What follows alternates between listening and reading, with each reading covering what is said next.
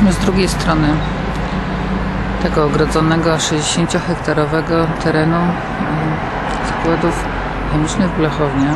Elektrownia działa pełną parą. Kominy dymią, ale dym jest czysty w miarę. Na budce już nie ma tych znaków, że nie wolno kręcić filmu, więc możemy kręcić. Instytut Ciężkiej Syntezy Organicznej Blachownia.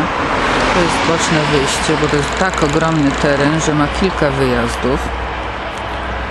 Już tej straży też nie widać, ale co tam się, proszę Państwa, w środku dzieje, w tym terenie, to jest obraz nędzy i rozpaczy.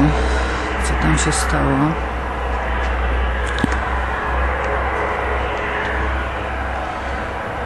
Mniej więcej coś takiego się tam stało, proszę Państwa.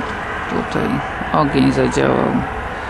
Akurat z tej strony nikt tego widać nie sprząta.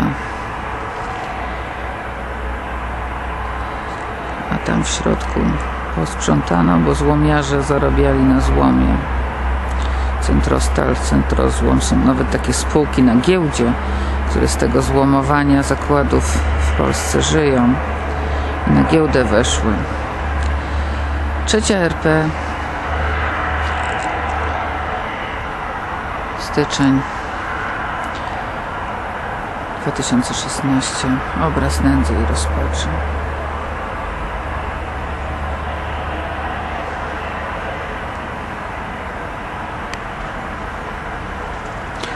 W tej okolicy jest pełno bunkrów niemieckich, mniejszych, większych, takich działek, znaczy takich jednoosobowych, strzelniczych, czyli znaczyłoby, że Niemcy bardzo zaciekle bronili tych terenów i stąd ten wielki cmentarz poległych żołnierzy Armii Radzieckiej. I trzeba zadać pytanie, a wojsko polskie?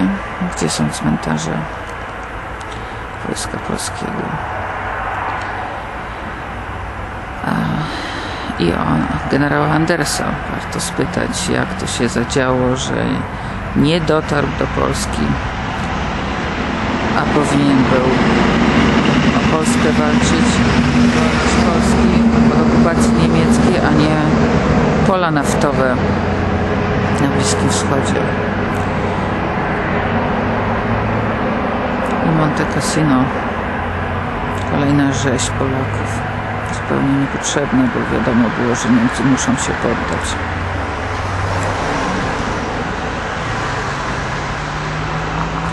Do generała Andersa jeszcze będziemy wracać, ponieważ jego córka jest aktywna w polityce w Polonii. I to, że ośrodki poprawne politycznie lansują żydowskie w Polsce ośrodki tą Anny Marię.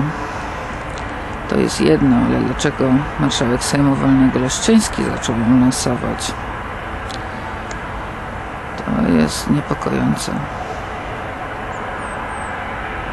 Mówiła Beata Andreas.